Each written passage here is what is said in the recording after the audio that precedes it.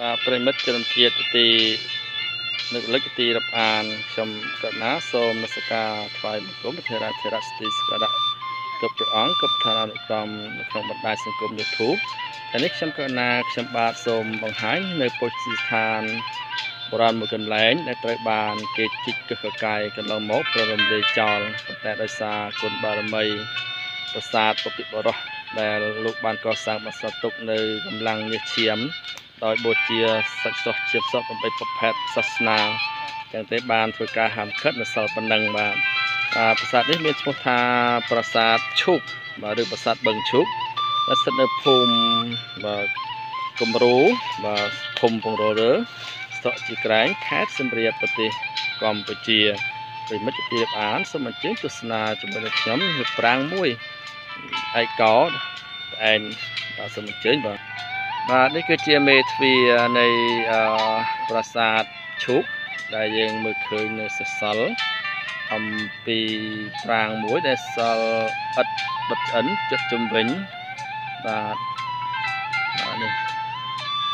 ពិតជាស្អាតណាស់បាទបាទប្រិមិត្តជារាប់អាន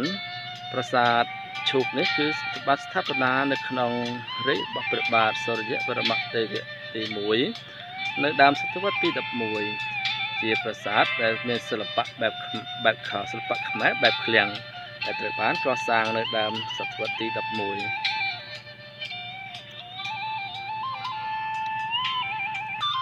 បាទប្រិមិត្តទីរាប់អាន បាទនេះគឺជាក្បាច់ហោជាងនៃប្រាសាទឈូកដ៏ស្រស់ស្អាតបាទនេះគឺជាទស្សនវិជ្ជានៃប្រាសាទឈូកដែលនៅសេសសល់ ប្រាសាទនេះគឺមានរោងតងនៅខាងក្រោយក៏សាកអំពីឥដ្ឋដុតឆ្អិនហើយនៅខាងមុខមានកំប្រាងប្រាសាទដ៏ស្រស់ស្អាតសូមមេត្តានឹងគ្នាជួយថែរក្សានៅកេរដូនតារបស់យើងដើម្បីកូនខ្មែរចំណេះក្រោយបានសិក្សាស្វែងយល់បាទប្រិមិត្តជាទីរាប់អាន ប្រាសាទឈុកនេះគឺស្ថិតនៅឯភូមិគំរូភូមិនេះគឺមាន ស្ថិតនៅឃុំបន្ទរលើសុកជីក្រែងខេត្តសំរាបដែលមានចម្ងាយមកដល់ទីនេះប្រហែលជា90គីឡូបាទបាទនេះជាក្បាច់នៃប្រាសាទឈូកបាទនេះគឺជាចង្រឹងបង្អួចដ៏ស្រស់ស្អាតដាក់ស្រដៀងនឹងមន្ទីរស្រីដែរបាទ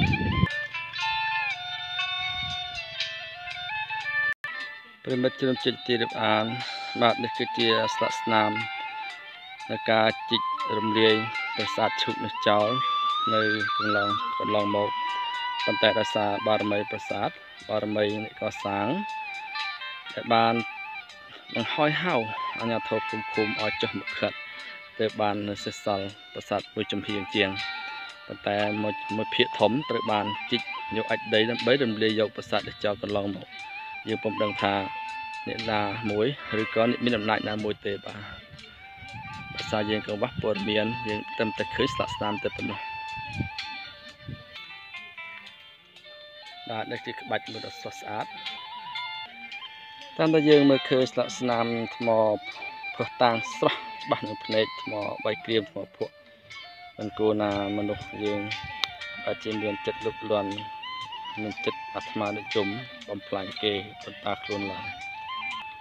បាទប្រិមិត្តទីរាប់អានបាទនេះគឺទស្សនភាពនៅបែកខាងនៃប្រាសាទឈុកបាទសូមប្រិមិត្តទស្សនានៅវីដេអូឃ្លីបរបស់ខ្ញុំបាទទៅហើយបន្ទាប់ពីការទស្សនាចប់សូមមេត្តាជួយ Subscribe YouTube របស់ខ្ញុំបាទដែលមានឈ្មោះថា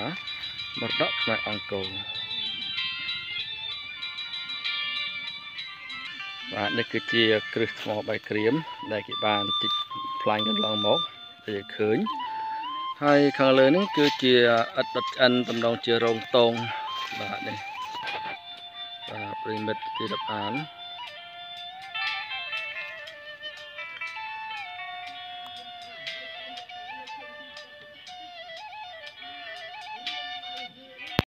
បាទប្រិមិត្តទីអាន បាទនេះគឺជា